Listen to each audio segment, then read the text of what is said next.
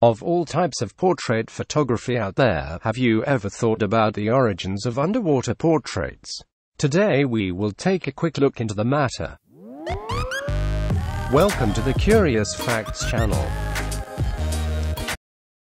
The first underwater portrait dates from 1889.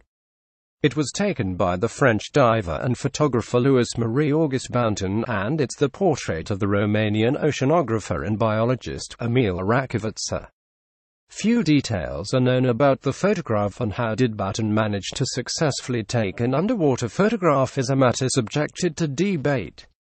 Some people claim that the exposure time was as long as 30 minutes while some think that Boutain had already developed with his brother a flash photography rig involving an alcohol lamp and an oxygen-filled barrel. The photograph was taken near the Oceanic Observation Center where Boutain was working. And it was shot at a 50 meters depth, yet it is clear enough that it can be read in the plate Emil is holding, photography submarine, meaning underwater photography.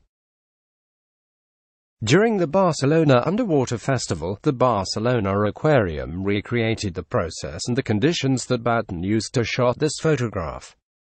You can find a link to a recording of this in the description of the video. If you would like to know more about this, you can try to take a look into the book Underwater Photography and the Process of Photography, written by Boutain himself. You can also find a link to the International Standard Book number in the description. That is it for our curious fact number one. Press the like button and subscribe to our channel so you don't lose any new video. Thanks for watching and see you soon.